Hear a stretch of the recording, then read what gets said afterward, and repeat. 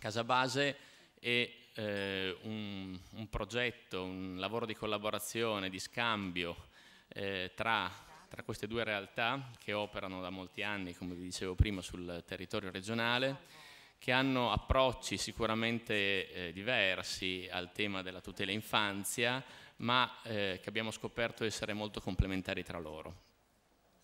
Eh, Casa Base è non soltanto il nome della comunità residenziale, ma è il nome di un progetto più ampio che ha eh, due anime e due percorsi, uno che riguarda direttamente l'accoglienza e la tutela minori, eh, di minori vittime di abuso e maltrattamento e l'altro è un lavoro invece eh, che include diciamo, tutto un percorso eh, territoriale con lo scopo di favorire, incentivare processi di solidarietà e di genitorialità responsabile. Proprio in questi giorni sta partendo sul territorio dove la prima delle due comunità casa base eh, è nata, non in ordine di tempo ma in ordine di nome in realtà, che è quella di Avigliana, un percorso che eh, parlerà di genitorialità a tutti i, a tutti i genitori eh, del territorio appunto del, dove è insediata la comunità. E eh, lo scopo è quello di, di andare oltre al tema della protezione e cercare di iniziare a parlare anche quello della responsabilità genitoriale. Il tema di questo seminario è, come avete visto, proteggere i bambini e curare i genitori. Difficile ma possibile. Abbiamo cercato di andare oltre al compito di protezione dei bambini per introdurre anche il concetto della cura, della cura della famiglia d'origine, eh, partendo dal presupposto che quando parliamo di bambini e quando parliamo di famiglia, in realtà parliamo di tutto. E parliamo di cura di famiglie che sicuramente sono state considerate ritenute non idonee per la, la crescita dei loro figli all'interno della struttura familiare e per cui introduciamo un altro elemento di complessità, oltre all'elemento di complessità legato al trauma subito dai minori, dall'allontanamento di questi minori dalla loro famiglia, anche alla complessità legata a un sistema familiare non funzionante. Pensare alla famiglia d'origine e quindi pensare a tutto il nucleo familiare è il punto chiave del progetto di Casa Base. Poi entreranno più nel merito diciamo, eh, gli interventi successivi, ma questo è eh, il succo, cioè vorremmo superare il concetto di valutare quelle che sono le competenze genitoriali, perché in realtà non si tratta di, tanto di capire eh, se queste competenze sono compromesse, perché lo sono sicuramente, ma si tratta di capire quanto queste competenze sono recuperabili anche. Quindi il concetto è uscire un po' da un'ottica di valutazione preventiva e cercare di capire anche dopo che succede a questi bambini. Il, il momento che stiamo vivendo è un momento sicuramente complesso dal punto di vista della crisi economica, a cui si è aggiunta sicuramente una crisi anche di tipo politico e la stiamo vedendo in questi giorni. Chiacchieravo prima con la dottoressa Vitale, mi dice, beh sicuramente è un momento scomodo per fare un intervento in, una, in, un consesso come quello di questa mattina e, e, in effetti le do assolutamente ragione, non è facile, però sicuramente è il momento in cui ognuno deve assumersi le sue responsabilità.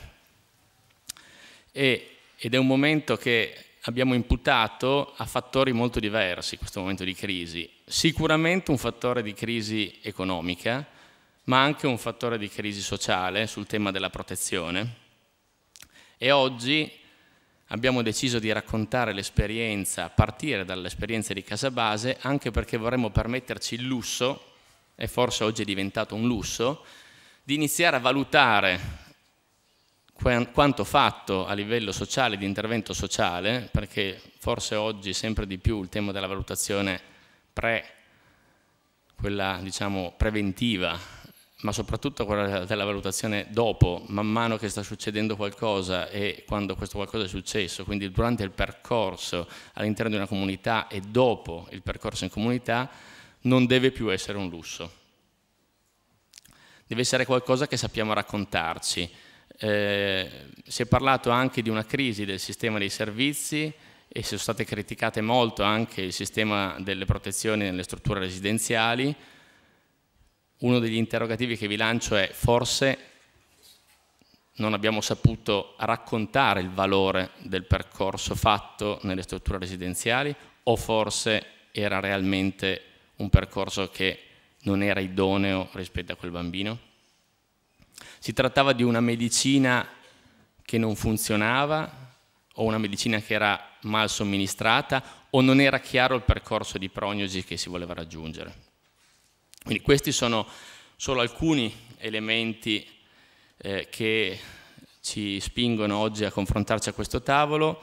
Eh, riteniamo che sia un'occasione diciamo, di rilancio del tema della tutela minori e vorremmo che fosse un'occasione di rilancio del tema della tutela minori. All'interno della cartellina trovate eh, una scheda nella quale se avrete voglia potrete lasciarci le vostre impressioni commenti, eh, potete ricevere naturalmente anche informazioni su quanto facciamo e ehm, oltre a, una, diciamo un, a, un, insieme di proposte formative eh, da parte della cooperativa Paradigma del Centro Tutela Minori e, eh, e di riflessi, che è l'agenzia formativa eh, della cooperativa Paradigma, trovate anche la possibilità di richiedere il, la monografia sul tema appunto del futuro del servizio della tutela dell'infanzia, ripresa di un dibattito eh, che nasce da un seminario di ricerca fatto da Paidei e Fondazione Zancan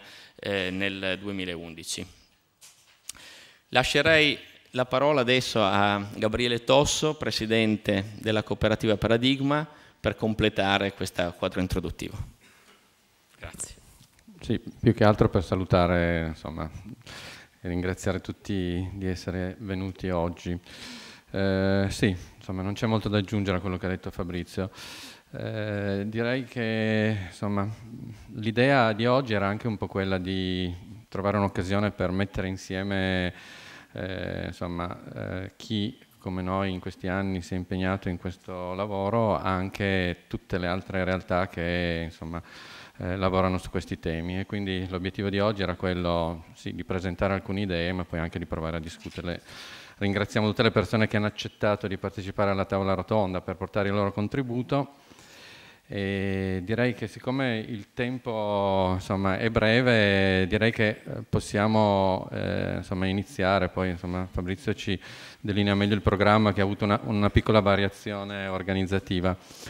Eh, io per riportare un po' al, al tema dei, dei, bambini, della cura dei genitori e della, delle comunità, insomma, volevo solo aprire l'incontro raccontando un piccolo fatto, insomma, un piccolo evento che mi ha colpito eh, in questi giorni, nel senso che domenica ero a Chieri, sulla nostra prima comunità, dove festeggiavamo lì i 18 anni con tutto il gruppo delle, dei volontari, delle istituzioni che hanno collaborato con noi per in questi anni.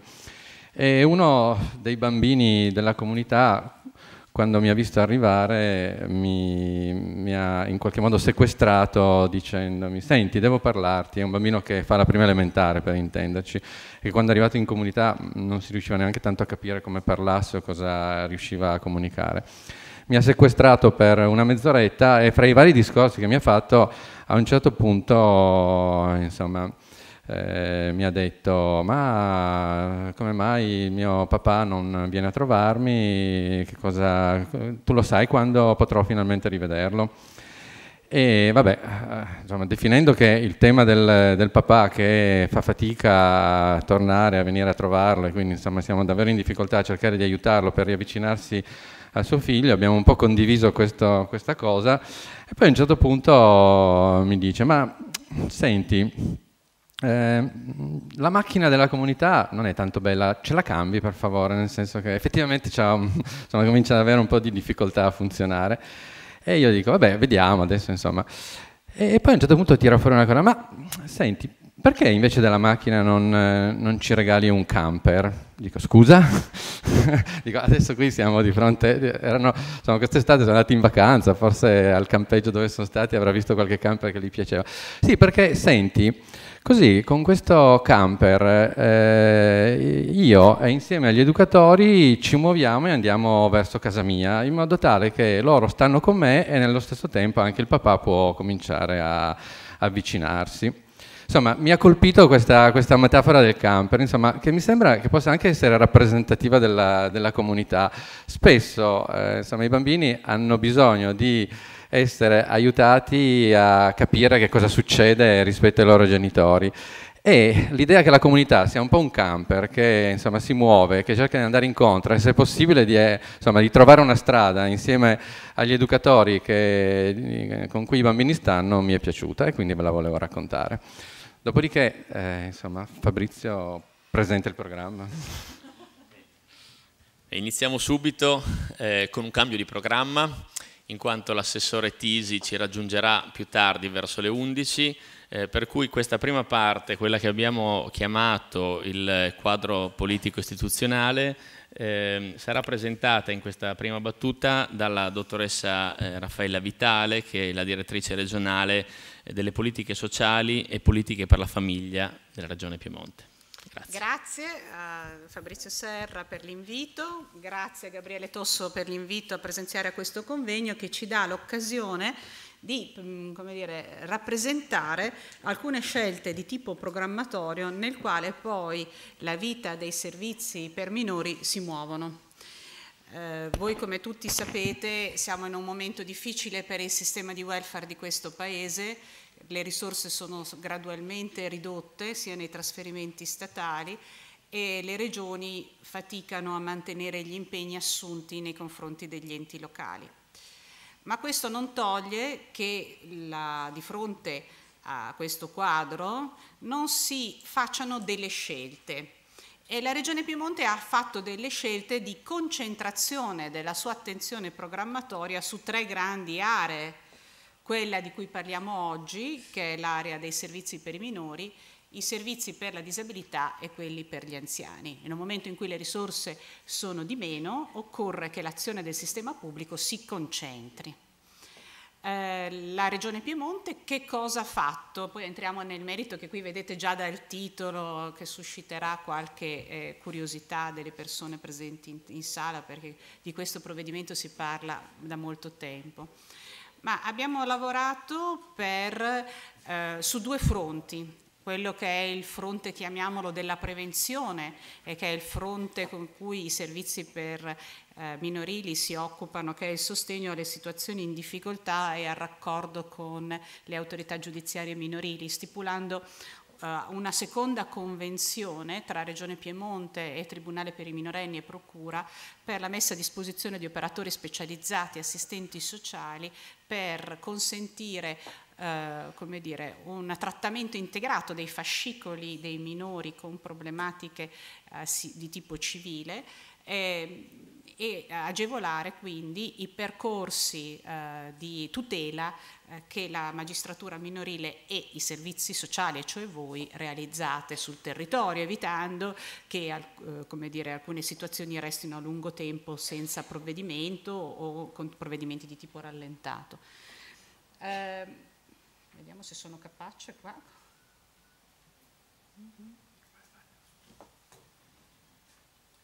Allora, prevenzione dell'allontanamento. Qui vedete ah, quelle che sono le azioni che noi abbiamo svolto.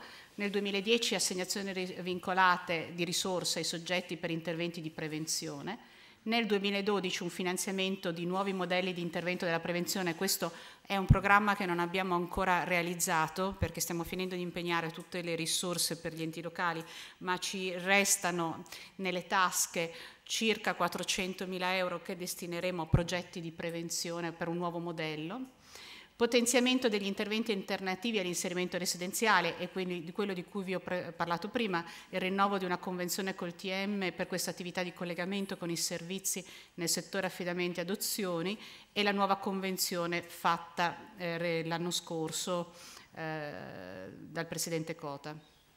Sostegno alle adozioni dei minori oltre 12 anni e con handicap accertato, questa era un'azione già precedente che esisteva, ma che abbiamo continuato a sostenere economicamente e finanziariamente.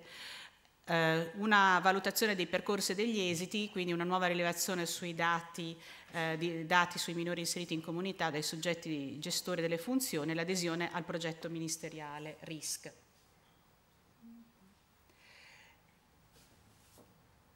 Questa è una delle conseguenze di molto del vostro lavoro, e cioè che le azioni e le intraprese gli interventi hanno dato luogo ad una riduzione delle richieste di inserimento nelle strutture residenziali.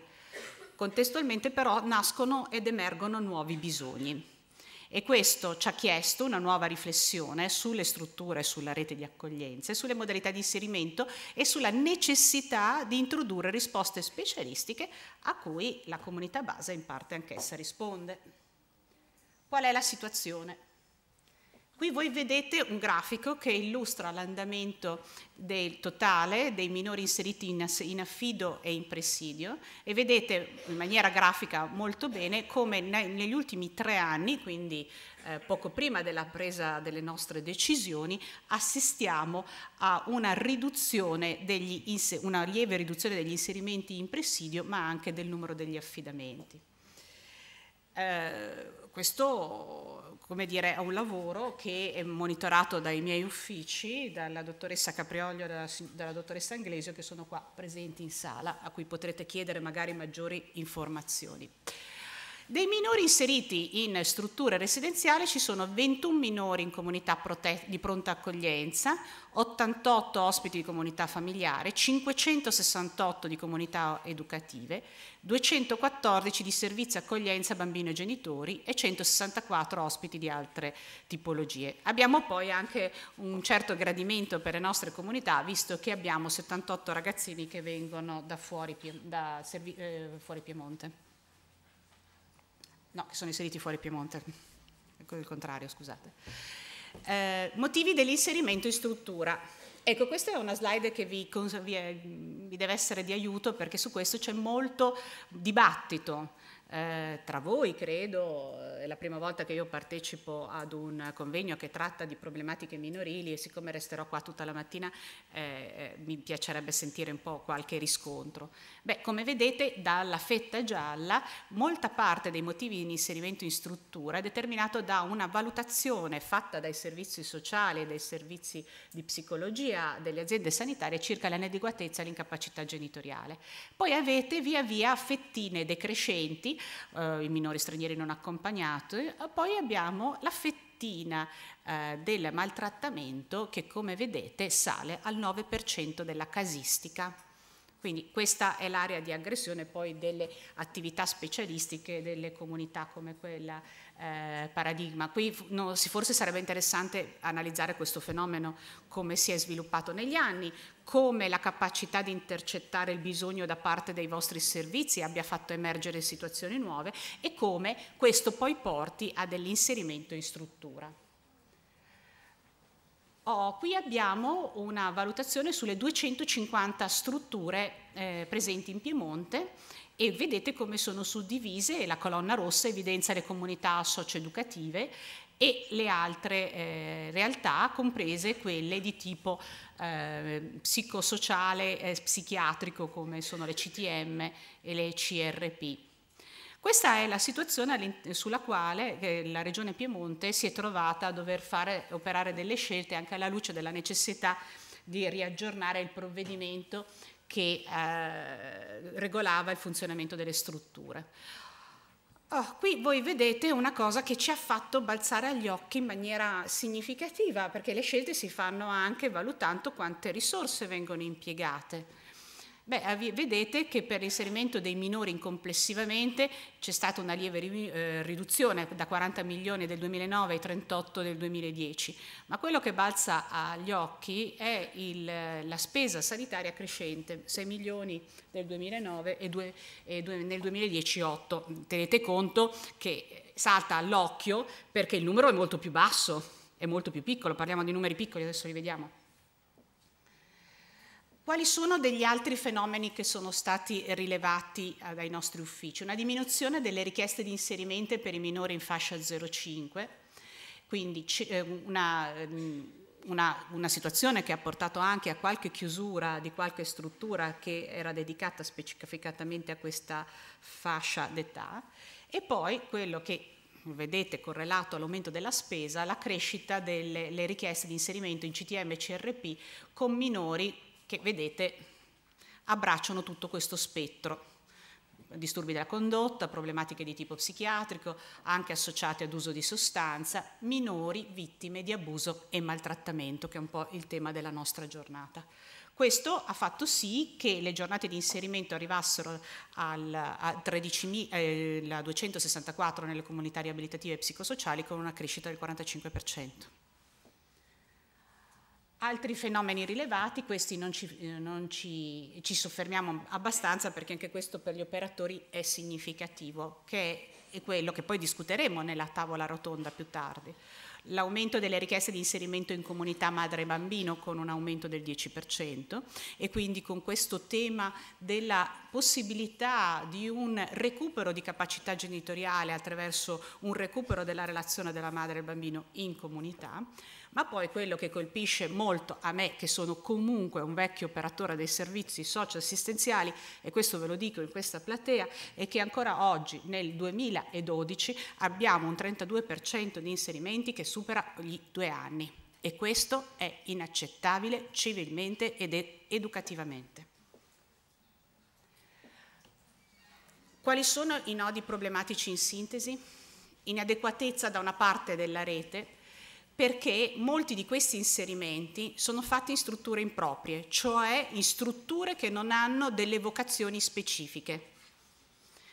E abbiamo una richiesta di strutture specialistiche, come l'esperienza di Paradigma ci dimostra.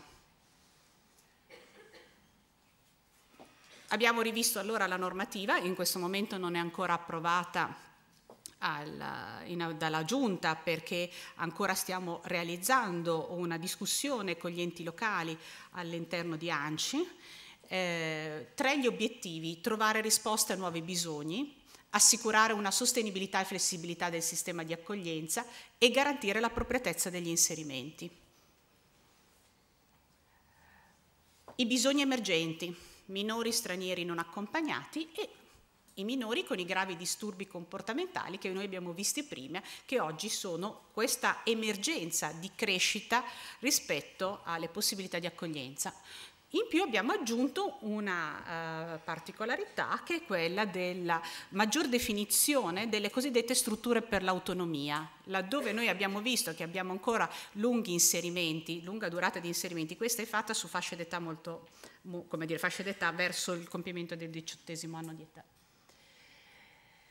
Uh, vabbè, questo, vi, vi, questo ve, lo, ve, lo, risparmio eh, perché poi entriamo troppo nel merito della discussione del nostro modello della DGR 41 che a voi non avete eh, tra le mani. Nel nostro provvedimento abbiamo dedicato specificatamente un capitolo destinato alle comunità per il maltrattamento che abbiamo tolto dalla grande casa madre delle comunità psichiatriche e le abbiamo dire, dato una collocazione specifica all'interno delle comunità educative che proprio per questa fattispecie di attività vengono particolarmente finalizzate per i modelli operativi, organizzativi e gestionali, ma che partono per essere delle comunità prevalentemente educative. Eh, abbiamo raccolto molti pareri attorno mm, a questo nostro provvedimento che vorrebbe dire, far sì che gli operatori del settore, quindi guardiamo qua la cooperativa Paradigma se c'è anche qualche altra cooperativa che lavora nel settore minorile, deve guardare a questo nostro nuovo modello. Eh, la Regione Piemonte rappresenta ancora eh, sempre di più Uh, un punto di riferimento anche per altre regioni italiane, perché noi riusciamo attraverso questo grande dibattito che c'è nei nostri servizi, nelle nostre strutture, tra pubblico e privato, ad avere eh, una non solo una meticolosa analisi dei bisogni delle, dei, dei, ragazzi, e, ma anche la capacità di progettare percorsi di inserimento, percorsi di reinserimento, di socializzazione educativi molto mirati, cosa che altre regioni italiane non hanno e che, eh, come dire, su cui eh, varrebbe la pena eh, come dire, di valorizzarlo come una una ricchezza della, della nostra regione. Eh, discuteremo più tardi nella tavola rotonda il tema de, specifico delle comunità per il maltrattamento eh, minorile e per l'abuso perché questo credo che sia un tema di particolarmente rilievo visto i dati che voi avete visto. Eh, quindi attendo, attendo anche dire, interventi e, e sollecitazioni poi anche all'interno del dibattito che seguirà. Grazie.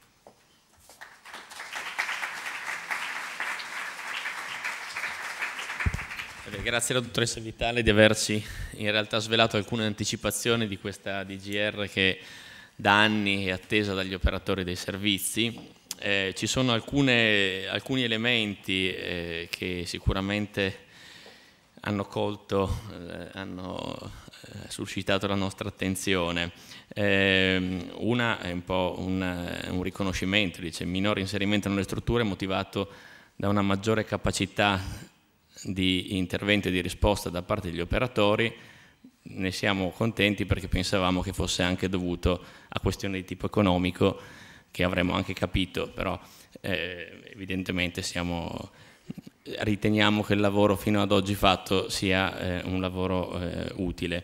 E, ehm, ed è chiaro anche dall'altra slide sull'andamento della spesa questa necessità di integrazione delle componenti sociali e sanitarie soprattutto quando parliamo di eh, situazioni complesse ed in particolar modo in questo caso noi parliamo di abuso e maltrattamento e l'idea di pensare a strutture specialistiche che sappiano rispondere ai nuovi bisogni e intervenire in modo appropriato sicuramente è il punto eh, chiave da cui eh, riteniamo sia utile partire. Vorrei passare immediatamente eh, alla, alla, parte successiva di questa, di questa mattinata che riguarda il tema degli operatori. Eh, il tema degli operatori verrà trattato da eh, Norma Perotto e eh, Roberto Maurizio, che sono due ricercatori che hanno esperienza eh, pluriennale nel mondo dell'infanzia, della tutela per l'infanzia, della formazione, si sono occupati a vario titolo della formazione degli operatori in questi ambiti e chiederei di raggiungerci eh, sul palco il, il tema che gli chiediamo di affrontare è questo, perché gli operatori da soli non possono farcela? Norma Perotto.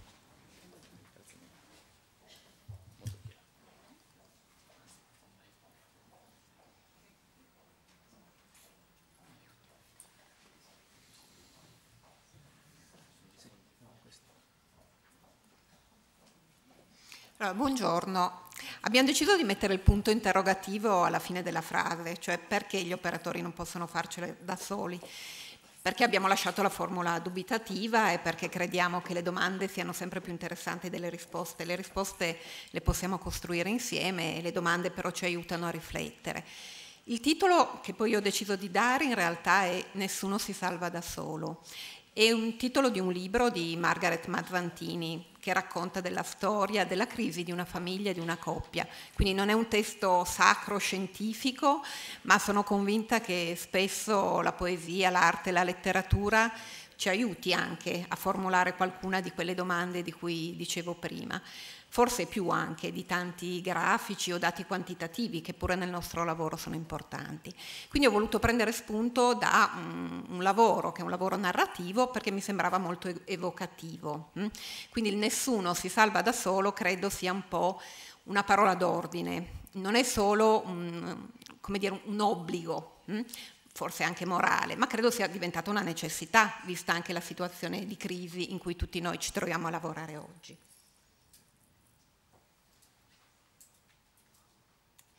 Allora, per rimanere nell'ambito dell'arte, ho deciso di citare questo brano di un sociologo che si chiama Sennett, che ha pubblicato un libro molto interessante che vi consiglio di leggere eh, che si chiama Insieme, edito mm, molto recentemente quest'anno da Feltrinelli. Sennett è un sociologo, però utilizza per leggere i problemi della nostra società contemporanea occidentale anche delle chiavi di lettura un po' diverse, un po' alternative. E Sennett racconta, facendo riferimento alla propria esperienza, perché oltre che sociologo da giovane era stato anche musicista, di come la scoperta di dover lavorare con altri sia a volte anche un po' dolorosa e sia anche un po' una ferita, diciamo così, eh, al nostro narcisismo. Hm? E credo che questo tocchi un po' tutti, soprattutto noi che lavoriamo nel mondo, tra virgolette, del sociale, nel mondo educativo, in cui credo molto legittimamente siamo spesso mh, mossi anche da eh, fantasie salvifiche. Mh? Cioè, credo che se ci chiediamo eh, perché facciamo questo mestiere sia per far star meglio le persone magari anche per riportare a una situazione di giustizia sociale quello che è il mondo che abitiamo oggi. Allora, Nessuno si salva da solo viene ripreso da Sennett in una chiave anche più costruttiva quando racconta come per i musicisti sia una scoperta a volte un po' dolorosa capire che magari quando provo i miei esercizi musicali sono bravissimo e ritengo magari di essere anche il migliore e quando poi invece passo dall'esercizio alla prova insieme ad altri musicisti, quindi all'interno di un'orchestra, scopro che invece devo risintonizzarmi, mm? quindi cambiare un po' quella che è anche la mia capacità di suonare in base alla mia capacità di ascoltare e di sentire gli altri. In questo caso ci riferiamo ovviamente agli altri operatori, mm?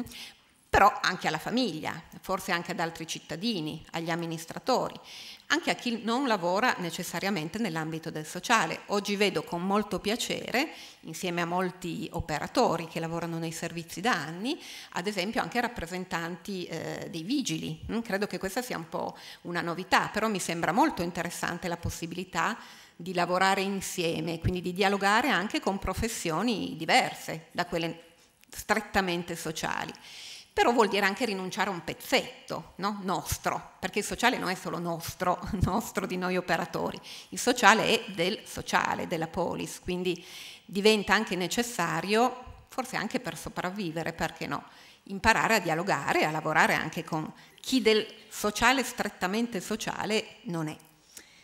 Quindi Sennett dice esercitarsi a suonare è un'esperienza solitaria, Fare le prove invece è un atto collettivo. Allora direi che lavorare con i bambini in difficoltà e con le loro famiglie è un atto collettivo e nel passaggio dall'una all'altra dimensione si gioca il destino di noi tutti.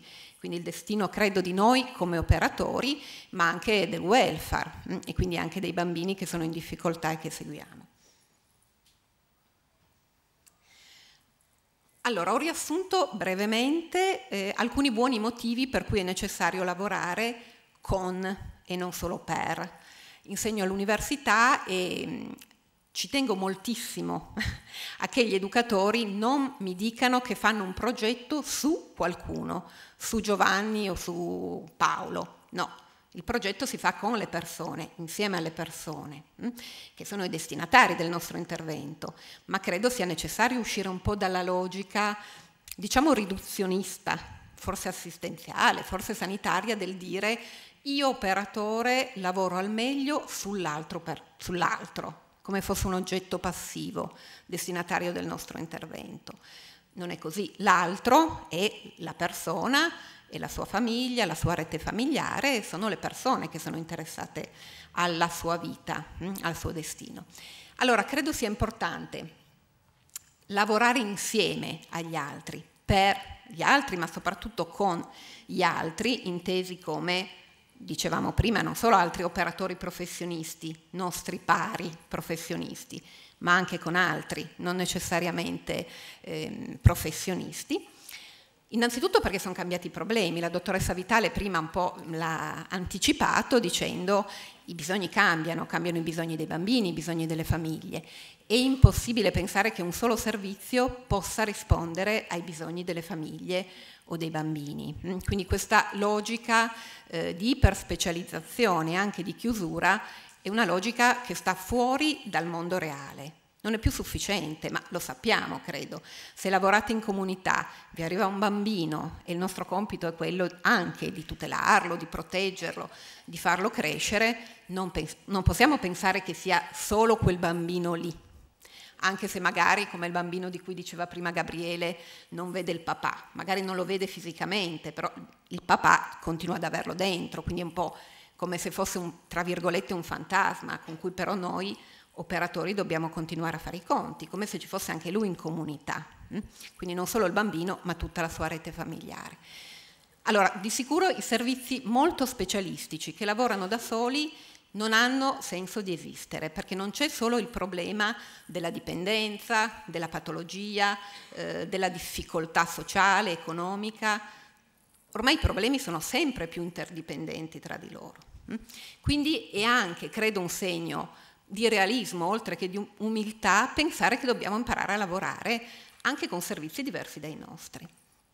Sicuramente le risorse economiche sono venute in parte meno, questo è un dato di fatto, credo, un dato oggettivo, però credo che siano venute meno anche le risorse culturali. Quindi è un po' come se ci fosse una paralisi del pensiero, come se nel momento di difficoltà concreta economica ci fossimo un po' fermati a pensare, hm? in una posizione magari anche legittima, però anche un po' depressiva. Allora credo che sia necessario imparare anche a vedere risorse diverse e questo c'è possibile farlo nel momento in cui scambiamo le nostre esperienze con altri, operatori e non operatori. Magari chi come un vigile ci dà uno sguardo dall'esterno magari ci è utile tanto quanto il collega che vede tutti i giorni il bambino insieme a noi in comunità. E credo che questo sia un altro passaggio necessario da fare, oltre che utile e forse anche stimolante, perché poi dialogare anche con chi ha visioni diverse dalle nostre è anche divertente, no? anche se un po' faticoso. Ecco, forse in questo senso dobbiamo un po' imparare a uscire da quella che io chiamo la mistica insondabile del sociale, cioè come se il mondo del sociale, del disagio, della fatica lo capissimo solo noi operatori. E quindi è inutile spiegare agli altri, no?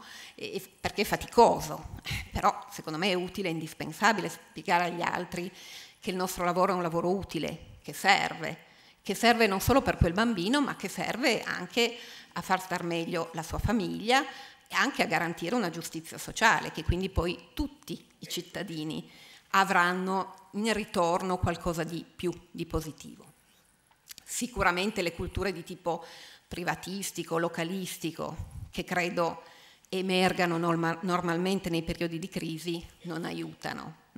Quindi davvero credo sia importante un po' rilanciare e uscire allo scoperto, cioè non chiuderci nella nostra nicchia autoreferenziale anche a lamentarci, ma basta andare oltre, hm? provare ad aprirci e a vedere anche altrove risorse diverse. Sicuramente un altro elemento che è importante considerare è il, il peggioramento delle condizioni di lavoro di molti operatori. Hm? Eh, parte dell'ente pubblico, ma penso soprattutto agli operatori del privato sociale, le cui condizioni mh, lavorative spesso sono segnate da, eh, dalla precarietà. Allora, certo che è più difficile quando io per primo sono in una situazione di precarietà, anzi c'è una ricerca molto interessante che sta conducendo Caritas in cui si dice che alcuni operatori sociali si avvicinano sempre di più alla soglia della povertà Mm? E quindi si avvicinano sempre di più a quella che è, tra virgolette, eh, l'utenza che noi un tempo sostenevamo. Mm? Allora anche qua, senza deprimerci troppo, però dire, beh, scatta qualcosa tra di noi, un po' di solidarietà, oppure al contrario facciamo la guerra tra i poveri e ognuno si rinchiude nel proprio mondo. Mm? Quindi questo è un altro motivo in più Mm, non solo per lamentarci, ma anche per dire, beh, proviamo a costruire anche come professionisti, parlo degli educatori ma anche degli assistenti sociali, anche degli infermieri, che sono spesso eh, segnati da condizioni di precariato. Sapete, credo che cosa vuol dire. Innanzitutto che non ho garanzie per il mio futuro, ma anche che per il presente ho magari eh, meno possibilità dei colleghi di formarmi, non posso fare la supervisione, ho meno possibilità di aggiornarmi questi sono elementi importanti perché segnano poi anche la qualità dell'offerta dei servizi ai bambini e alle loro famiglie. Collegati alla, anche alla precarietà del lavoro degli operatori sociali ci sta, credo, la difficoltà eh, che abbiamo avuto nel corso degli anni a farci conoscere e riconoscere. Credo che sia una responsabilità in parte nostra, nel senso che forse abbiamo dato per scontato chi lavorava non solo in comunità, ma in generale nei servizi, che fosse sufficiente esistere per essere conosciuti, riconosciuti e legittimati dagli altri. Abbiamo visto che non è così, hm? perché molti servizi sono stati tagliati, forse anche giustamente, può darsi, però se noi diciamo forse questo servizio era un servizio fondamentale per la cittadinanza, però ci sta un po' anche della nostra responsabilità se non siamo stati capaci di raccontarlo, come diceva prima Fabrizio Serra, quindi di giustificare anche il nostro lavoro, hm? di renderlo visibile, di raccontarlo, hm? quindi di costruire anche una narrazione che sia in grado di tenere insieme i dati eh, quantitativi, numerici, ma anche la storia delle persone. Mm? E credo che questa sia una difficoltà nostra in generale, che siamo sempre eh, spesso sbilanciati sulla dimensione qualitativa, biografica, eh, sulla narrazione e facciamo invece fatica a dimostrare, a far vedere ad altri anche la dimensione quantitativa dei numeri. Mm? Che magari non sono numeri enormi, però i numeri, eh, quando ci riferiamo a bambini, vuol dire la possibilità per questi bambini di avere un futuro degno di essere vissuto. Quindi magari sono pochi, però dobbiamo essere capaci di raccontarlo bene anche, hm, il lavoro che abbiamo fatto. E poi sicuramente si avverte un sentimento di eh, assedio da parte degli operatori. È una parola un po' forte, però ogni tanto facendo formazione e supervisione con gli educatori soprattutto ehm, ho sentito spesso il racconto delle difficoltà di chi è, tra virgolette, in prima linea. Qualcuno mi ha detto in trincea. Allora ho ripreso questa frase che mi sembrava molto significativa di Franco Olivetti Manuchian, che dice ci si sente assediati quando ci si muove dentro una rappresentazione di sé e del proprio lavoro che fa credere in pratica che ce la possiamo cavare da soli. Mm? Allora credo che sia una rappresentazione che noi stessi abbiamo un po' legittimato, ma dalla quale dobbiamo uscire. E quindi dobbiamo imparare anche a, mm, a uscire dalla convinzione davvero che possiamo lavorare da soli, quindi senza raccontare, senza condividere con altri il nostro lavoro che vuol dire i nostri successi e anche i nostri insuccessi, perché poi dai fallimenti eh, si impara. Gli ostacoli del lavorare con altri, li ricordo molto brevemente, sono le grammatiche che chiudono, hm? quindi gli atteggiamenti autoreferenziali, quindi quelli molto specialistici. Forse diciamo così la cultura sanitaria è quella che in questo caso ci risulta un po' più evidente, abbiamo sempre medici molto più specializzati in un singolo tipo di patologia, di un singolo organo e sempre meno invece medici in senso eh, lato, diciamo così, di base, nel senso che guardano alla persona. Forse la cultura sanitaria, che in realtà si sta un po' anche emancipando da questo tipo di visione, eh, è più, quella più segnata dallo specialismo, oppure la grammatica della beneficenza anche, quindi del dire quello che non può fare l'intervento statale lo può fare il benefattore, quindi un, un, privato e ovviamente sappiamo anche questo è un tipo di intervento che può essere molto critico. Un'altra attitudine che può essere rischiosa e che ho aggiunto è quella alla casalingitudine degli operatori che non è la domiciliarità che ci propone la bottega del possibile, anzi la casalingitudine è un po' quell'atteggiamento che abbiamo, eh, credo soprattutto chi lavora in comunità residenziale, ma non solo, del dire mi chiudo un po' nel mio guscio, proteggo, tutelo i bambini, ma in fondo proteggo e tutelo un po' anche me e quindi mi metto forse anche un po' meno in, in discussione, mi apro di meno alla valutazione, al dialogo con gli altri cittadini, con il territorio. Quali strategie? Le cito molto brevemente. Noi oggi vi raccontiamo un'esperienza che è quella di Casa Base di Avigliana, che è anche una sperimentazione, perché abbiamo provato ad allargare il nostro sguardo dalla comunità alloggio, e quindi dall'intervento di tutela dei bambini, al lavoro con le loro famiglie di origine, all'intervento con il territorio. Quindi abbiamo provato a fare i tre passaggi successivi.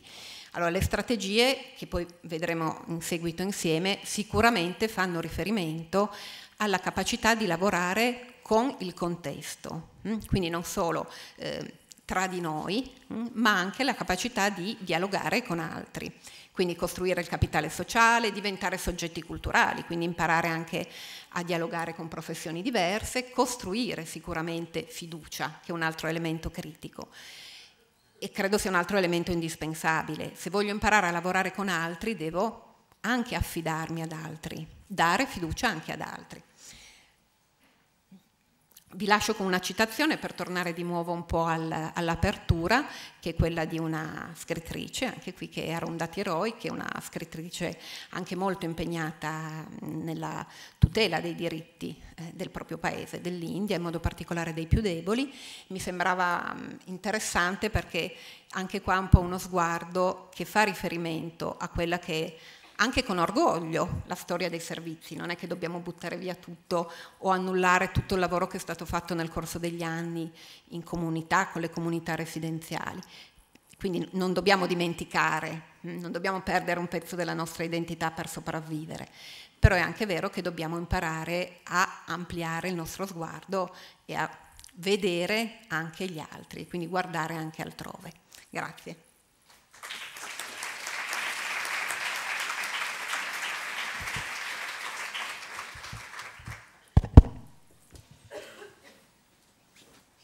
Buongiorno, a integrazione delle cose che ci ha appena detto Norma, eh, vorrei provare a fare alcune riflessioni intorno a un tema che per alcuni aspetti è vecchissimo, cioè non, non scopriamo, credo, nessuno in sala l'acqua calda nel ragionare sull'opportunità di eh, considerare il lavoro degli educatori di una comunità come eh, ciò che esclusivamente determina i cambiamenti o i risultati positivi eh, nel, nel, processo di supporto, tutela, cura, promozione, crescita del bambino eh, inserito in comunità.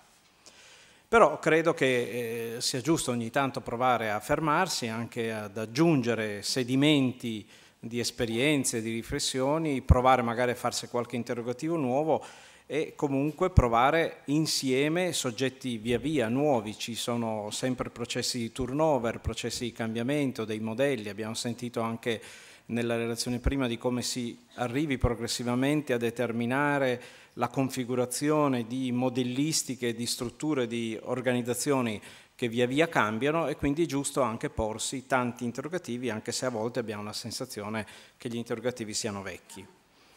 Perché gli operatori da soli non possono farcela? Eh, bah, io ribalterei la domanda perché eh, una famiglia da sola non è sufficiente a crescere i propri figli.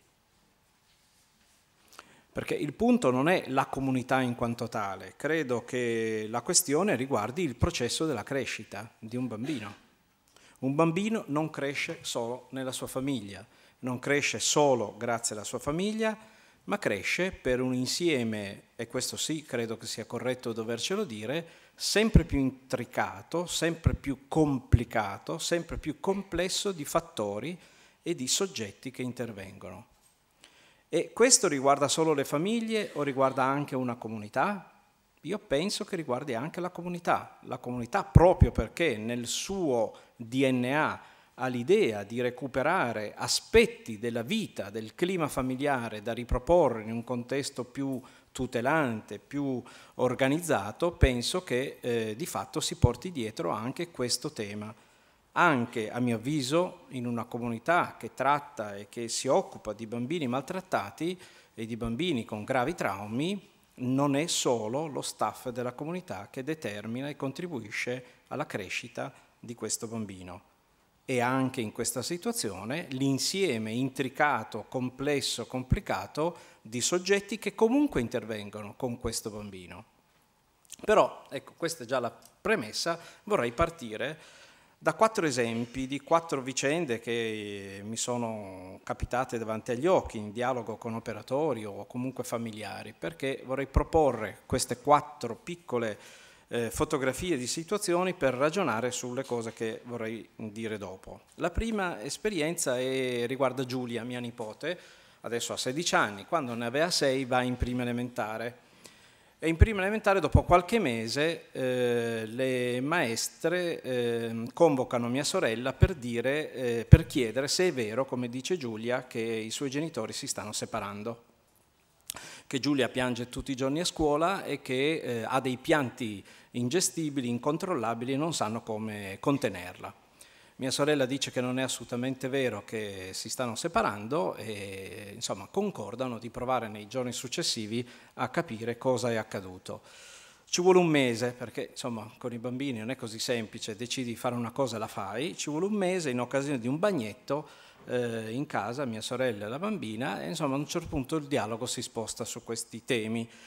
E Giulia dice con grande semplicità questo fatto, che la sua migliore amica, Giulia, anche lei di sei anni, le ha detto che se i propri genitori non dormono insieme per cinque notti di seguito nello stesso letto, vuol dire che si sono separati.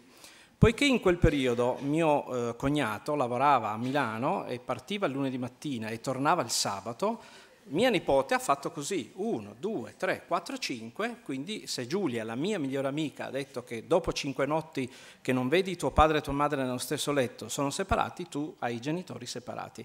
Lei ha fatto questo ragionamento e ha comunicato a tutta la classe che i suoi genitori si erano separati.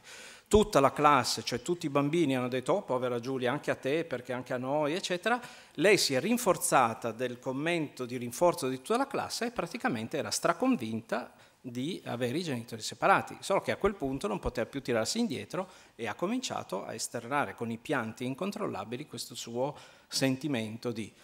Ecco, questo eh, verrebbe da chiedersi alla migliore amica di Giulia, farsi fatti propri ogni tanto non fa male, ma la domanda è a sei anni uno come la impara questa cosa qua? Cioè chi è che ha detto che bisogna contare cinque notti per vedere se i tuoi genitori sono sposati o no, se dormono nello stesso letto? È una cosa curiosa, eh? molto interessante. Il tema del sapere che si scambia nelle diverse età. Eh, io ho fatto un esempio di sei anni, ma potremmo tranquillamente, credo, in sala condividere esempi anche per età più piccole. Secondo esempio, un'esperienza fuori Torino, eh, ho a che fare in un progetto di prevenzione con un responsabile di un'associazione sportiva calcio che mi dice che cioè, con molta, molto insomma, coinvolto emotivamente si è trovato in una situazione in cui ha dovuto decidere a cosa rinunciare, se rinunciare a un bambino o rinunciare ad altri 15 io eh, non riuscivo a capire cos'era e lui mi ha detto che avevano accolto da poco un bambino che metteva in atto comportamenti inadeguati, rubava dalle borse degli altri, bambini dell'età prima media, rubava dalle borse degli altri, era sempre trasgressivo, quando uno stava per tirare il calcio di punizione lui arrivava, spostava il pallone, piantava casino, non rispettava le regole, eccetera, fino a un punto in cui tutti i genitori degli altri 14 bambini sono andati da lui, responsabile della squadra, hanno detto o lo mandi fuori o noi portiamo tutti i nostri figli e li mettiamo nell'altra squadra del paese lui ha dovuto decidere e ha deciso di mandare via il bambino implicato, dicendogli non sei adatto per la nostra squadra di calcio, trovatene un'altra. Terzo episodio, terzo episodio in realtà è una somma di episodi perché ho avuto a che fare in questi ultimi anni con anche esperienze di contatto e supporto agli animatori di oratori e uno dei temi più forti che è venuto fuori di questo lavoro è il tema di come negli oratori si gestisce la violenza tra ragazzi, cioè i comportamenti aggressivi. Uno di questi, di questi, operatori sottolinea come loro si trovino in grandi difficoltà e a un certo punto ci chiediamo ma quali sono le strategie che mettete in atto quando vi trovate di fronte a una situazione di aggressività? E incominciamo a confrontarci, a ragionare e alla fine ne è venuta una sola, l'espulsione del ragazzo aggressivo, cioè di chi porta il problema. E va bene, ho detto accettiamo che questa sia la soluzione giusta e per gli altri che sono rimasti fate qualcosa? Zero assoluto. Cioè l'espulsione dell'aggressivo implica l'es- l'esaurimento dell'intervento educativo, cioè nessuno che prenda in considerazione le vittime loro, nel loro stato emotivo, nel che cosa vuol dire che vedi buttare fuori un tuo coetaneo e che eh, comunque ripropone anche a questi il fatto che loro stessi un domani potrebbero trovarsi a dover agire o a essere costretti o a essere spinti ad agire un comportamento aggressivo, zero, totale. Ultimo episodio, eh, sempre fuori Torino, un pediatra che intervisto per una ricerca eh, mi dice che di recente in quel paese due o tre mamme si sono rivolte a lui chiedendo psicofarmaci per i bambini in età 8 anni, 7-8 anni.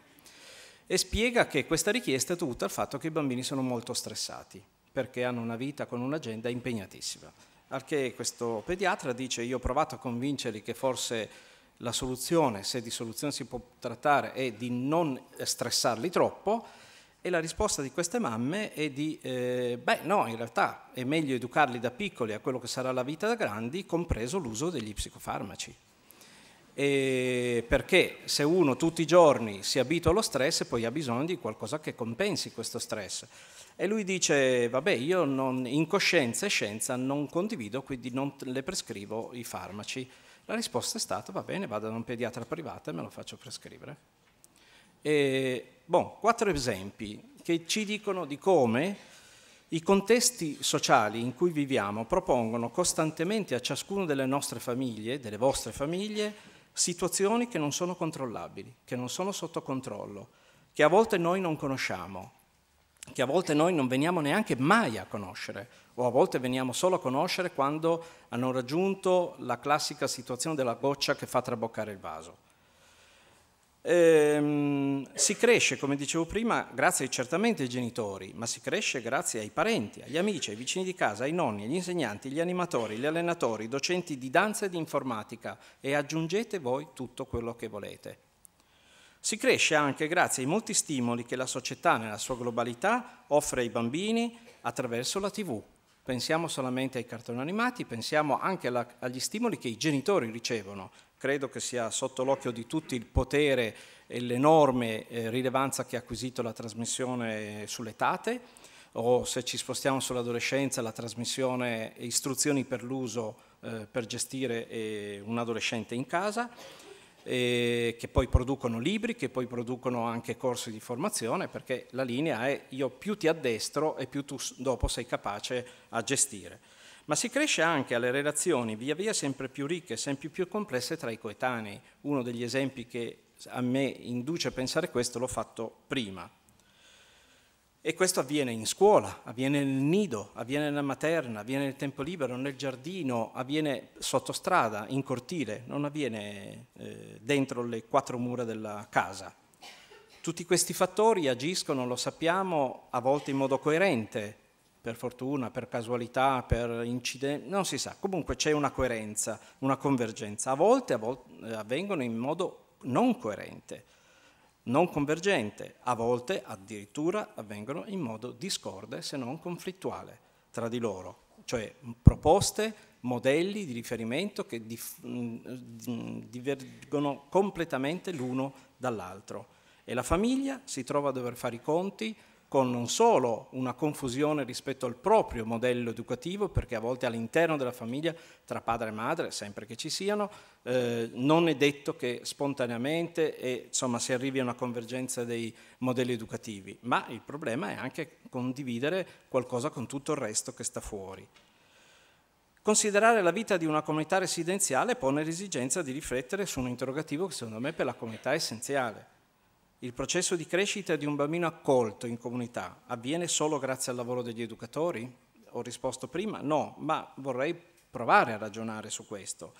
Cioè, dentro questa domanda non c'è il fatto di riproporre il modello istituzionale in cui dal mattino alla sera i bambini collocati in istituto stavano tutti all'interno delle quattro mura. Lungi da me un pensiero di questo tipo. Ma l'idea è che a una quota di presidio e uso il termine presidio in positivo, cioè di capacità degli operatori di gestire, di controllare, di ehm, integrare il proprio lavoro con quello di altri, che viene fatto all'interno del sistema dei servizi e qui dentro inserisco tutte le relazioni che gli educatori della comunità hanno con i servizi di territorio, servizi sociali, servizi di psicologia, servizi di neuropsichiatria e quant'altro, stiamo parlando però sempre dello stesso minestrone, cioè di operatori professionalmente preparati e pagati per fare questo e chiamati a farlo nel miglior modo possibile.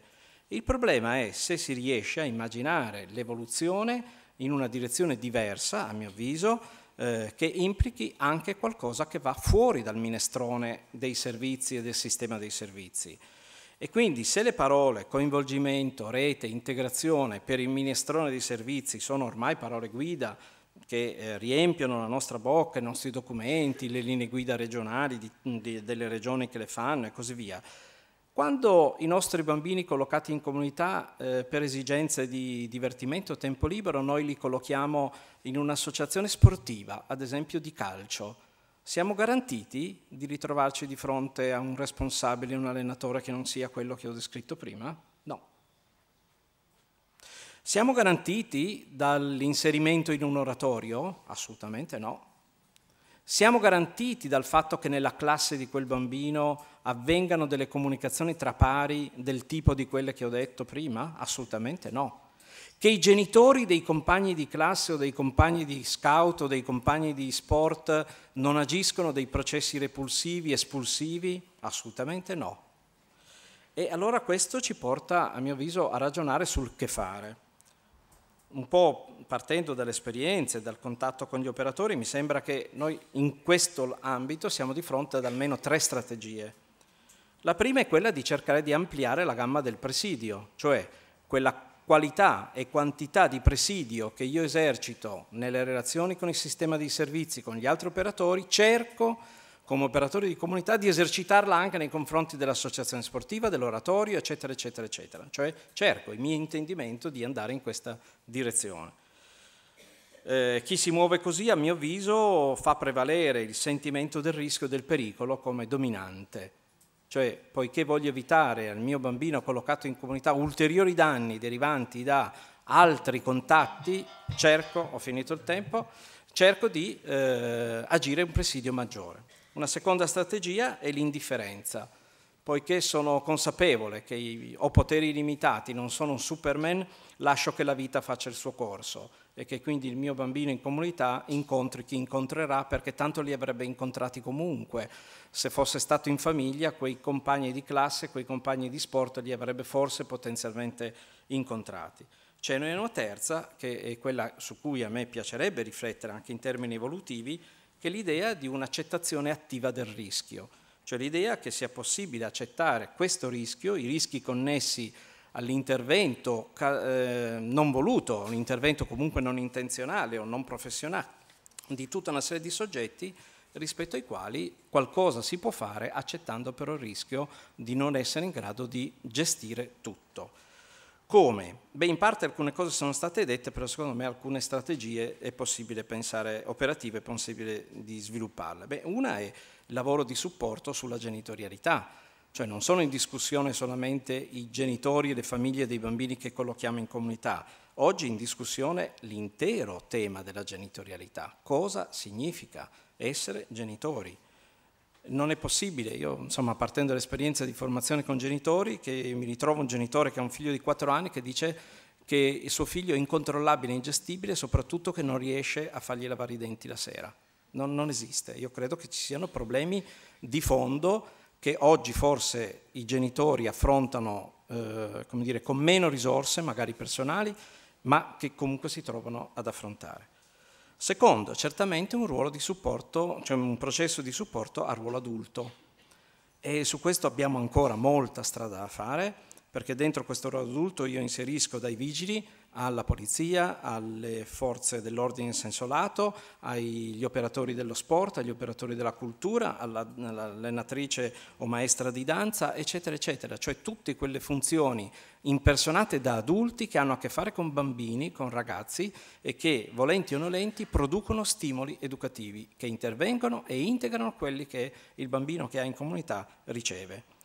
Poi c'è un terzo elemento che è quello del supporto tra pari. Ovviamente non è che dobbiamo esagerare, Però credo che le esperienze che abbiamo fatto in Italia di peer education ci dicano che è possibile sviluppare esperienze interessanti, anche più mirate, e quindi perché no pensare che dove io colloco in una scuola un bambino inserito in una comunità, in quella scuola, in accordo con la scuola, possa sviluppare un progetto di peer education? Perché non farlo?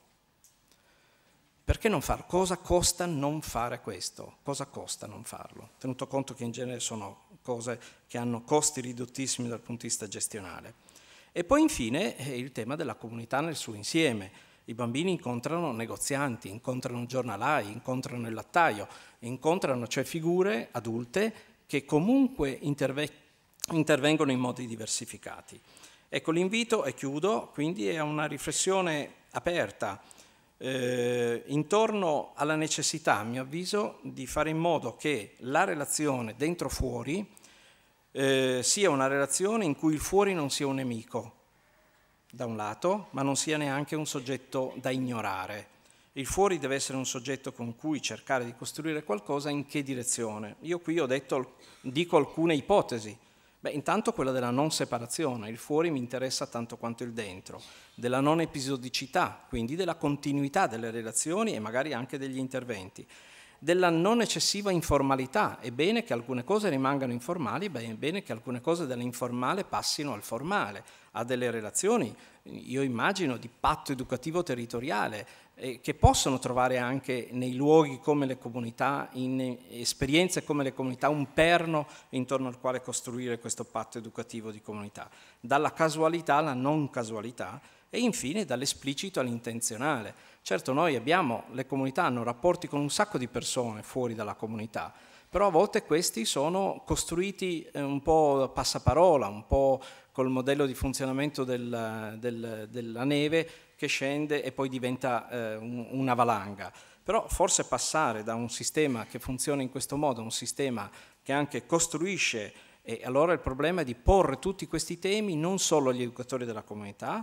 ma a quel minestrone di cui parlavo prima che coinvolge educatori di comunità, servizi sociali, servizi di psicologia, servizi di neuropsichiatria, come passare da un processo principalmente di protezione e cura a un processo che sia contemporaneamente protezione, cura e prevenzione. Grazie.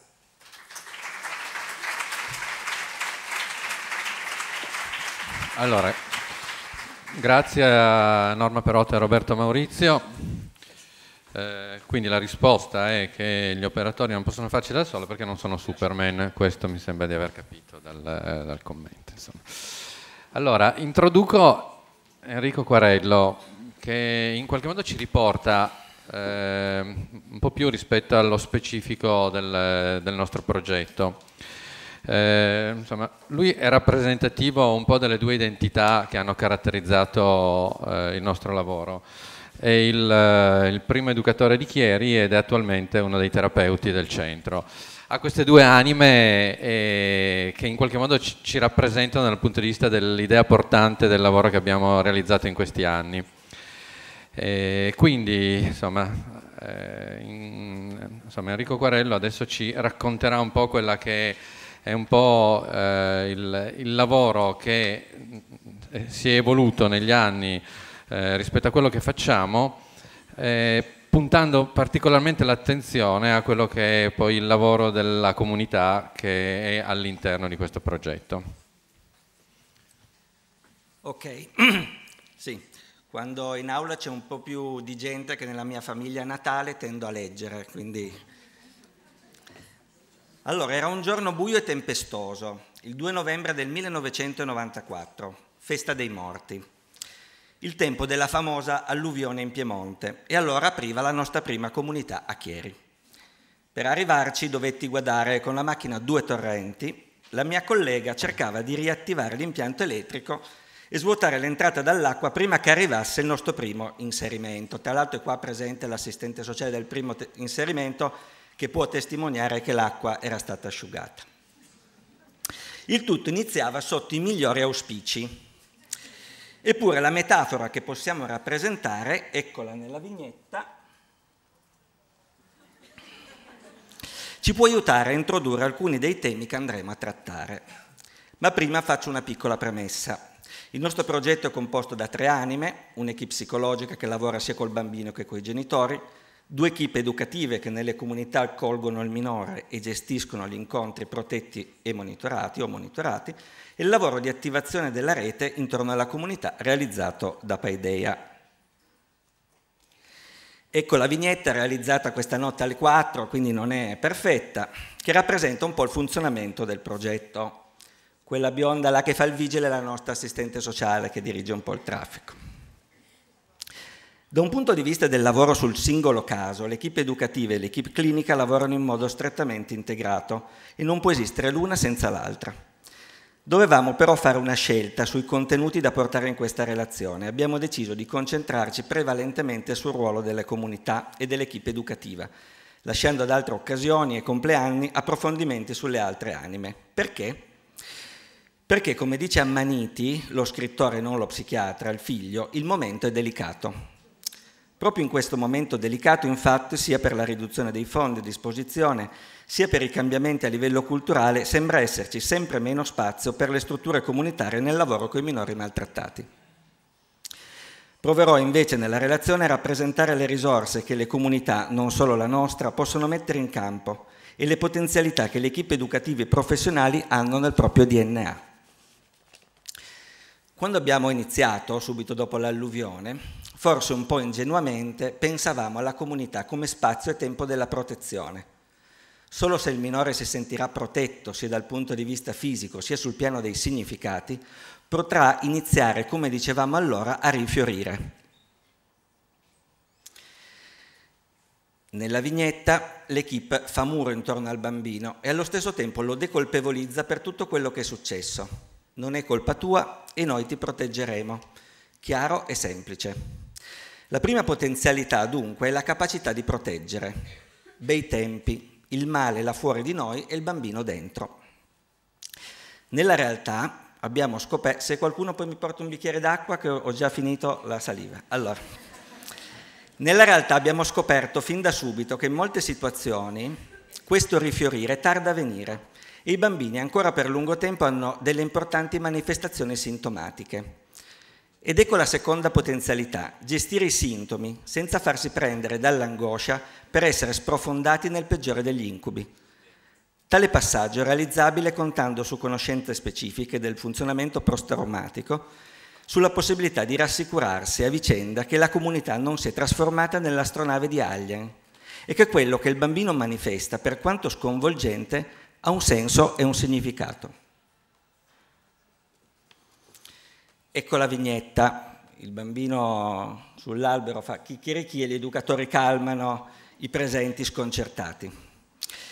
Questa fa un po' ridere, ma mi sembra importante fare l'elenco, anche se un po' crudo, di quello che i bambini possono agire nella fase sintomatica. Masturbazione compulsiva, tentativo di avere rapporti sessuali con educatori, bambini, animali esplosioni di rabbia incontrollata, gesti autolesivi, tentativi anticonservativi, depressione, vomito, enuseresi, encopresi, furti. E voilà. Se si lavora bene, e non solo la comunità, i sintomi più importanti vanno a ridimensionarsi, ma si presentano nuovi problemi. I bambini maltrattati infatti si identificano per proteggersi dall'angoscia di essere disintegrati con l'aggressore, e si costruiscono un'immagine di sé feroce e degradata allo stesso tempo. Noi riusciamo a vederli come vittime se siamo bravi operatori, ma loro come si vedono? E nello stesso tempo non si fidano per nulla degli adulti, soprattutto di quelli che si avvicinano per aiutarli. Ne hanno una grande paura, potremmo dire il terrore. Noi ci vediamo come operatori empatici, ben intenzionati, ma loro come ci vedono? Ecco come gli occhiali deformanti del bambino trasformano quello che noi pensiamo come un incontro di aiuto. L'incontro diventa così uno scontro deflagrante e reggere l'impatto è tutt'altro che semplice. Ma se l'equipe, aiutandosi reciprocamente, suddividendosi il peso, riuscirà a non spaventarsi e a non spaventare, cogliendo la paura dietro la furia, potrà piano piano modificare le lenti deformanti del bambino. Il piccolo Terminator diventerà così quasi simpatico. E l'orco educatore, una specie di Shrek, forse sempre un po' stronzo, non so se si può dire, ma in fondo non troppo pericoloso. Nella vignetta l'educatore dice ecco il mio mostrino preferito e il bambino risponde senti chi parla. La terza potenzialità, questa è lunga, e dunque incidere attraverso esperienze relazionali reali sulle immagini interne connesse alla relazione d'aiuto, ovvero in termini scientifici forzare i modelli operativi interni. Ma come se non bastasse, fin da subito ci siamo accorti che bisognava aggiungerne un pezzo molto importante, Spesso infatti i genitori non sono come quello terribile di prima, ma al contrario, delle anime perse nel mondo, persone senza né arte né parte, disastrose come genitori perché tutta la loro vita è stata un disastro, traumatiche perché traumatizzate. E un bambino maltrattato tanto ha sopportato e tanto può ancora sopportare, ma non può tollerare che gli educatori, che dichiarano di volerlo aiutare, si permettano di attaccare o non considerare il suo disastroso genitore. Ed ecco la quarta potenzialità di un'equipe educativa, farsi carico anche del genitore. Accoglierlo come persona sofferente e in difficoltà e soprattutto uscire dalla dimensione del giudizio. Non sei un genitore come si deve, o del confronto, sono più bravo io. Tale passaggio è possibile perché gli educatori non sono genitori, almeno non in comunità, e si collocano in una posizione terza, prendono il posto del genitore nella misura in cui questi non è in grado di svolgere il proprio ruolo. Si diceva una volta nella posizione di supplente, ma allo stesso tempo tifano perché il genitore ce la possa fare e mettono in campo le proprie risorse in questa direzione. Nella vignetta gli educatori si affiancano al tentativo di recupero del genitore, remando a favore e non contro. Dov'è l'acqua?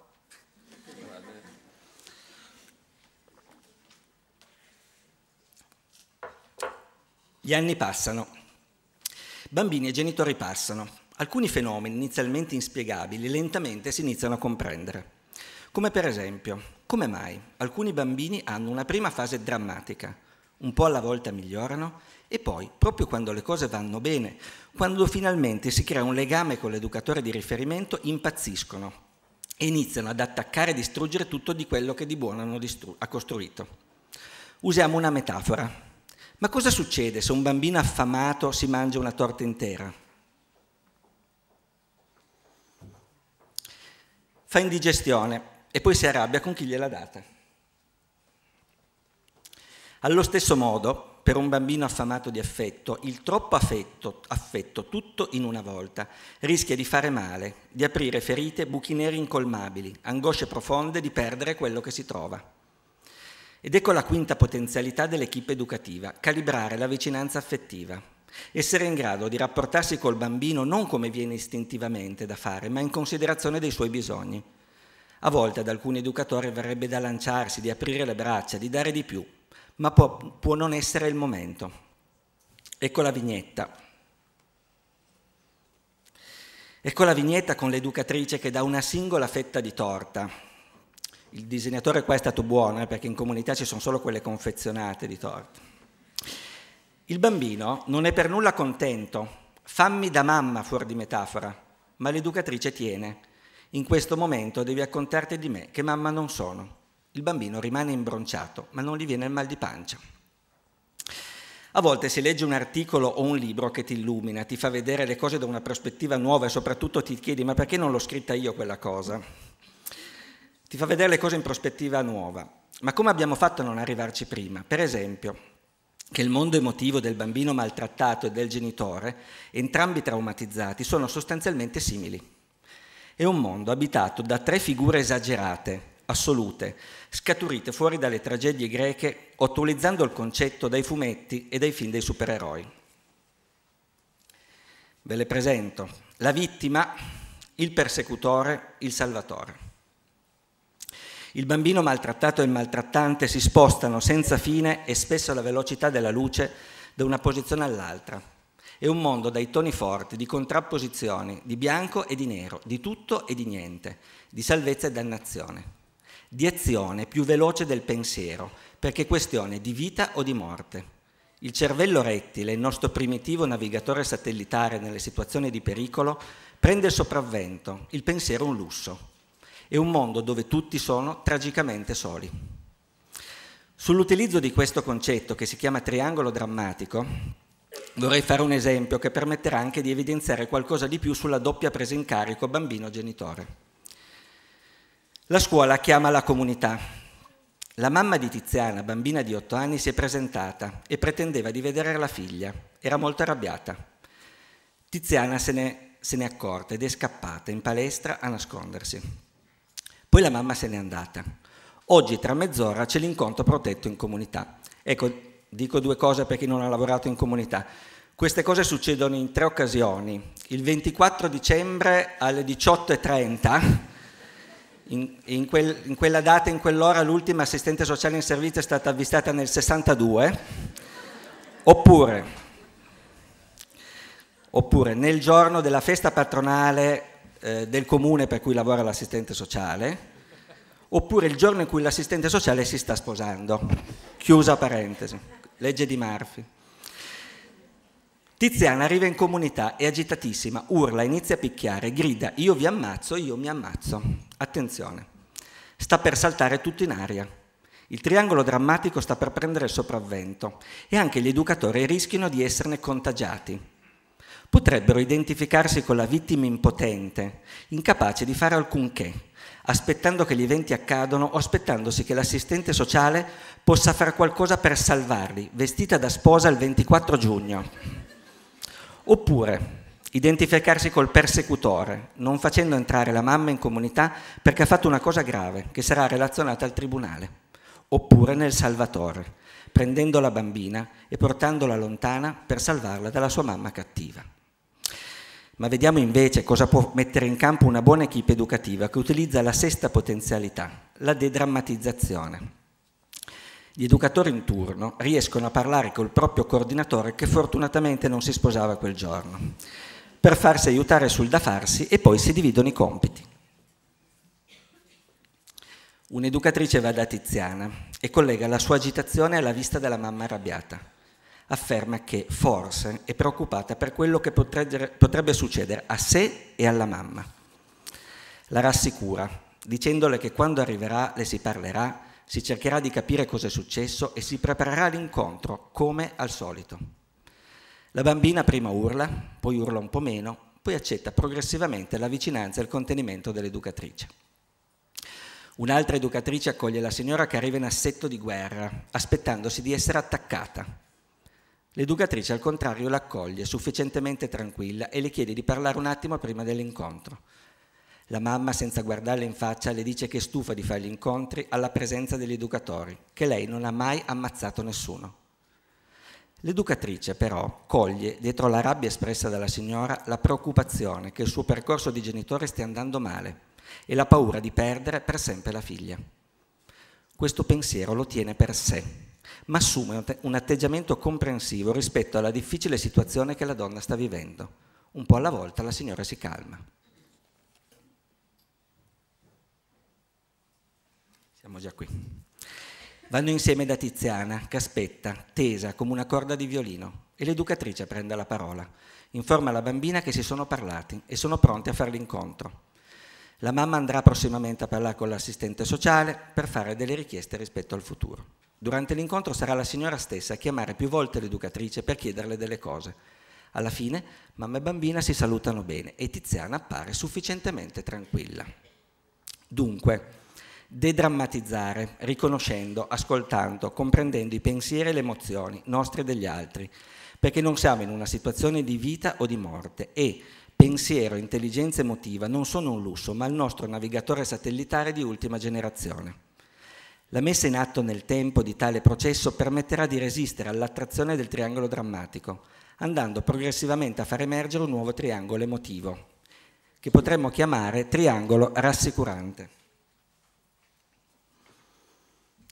Qui ritroviamo i nostri personaggi, ma un po' cambiati. La vittima adesso è in grado di alzare la testa e chiedere aiuto. Il persecutore, certo non è un bel vedersi, ma proprio paura non fa. Anzi, a guardarlo bene fa un po' pena. Il salvatore, oh per carità, fa quello che può. Sembra in pigiama come noi operatori, ma è sempre meglio di niente.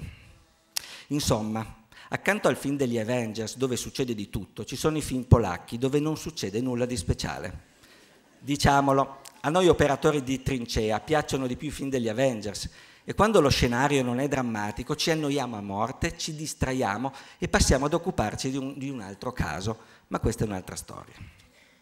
E concludo.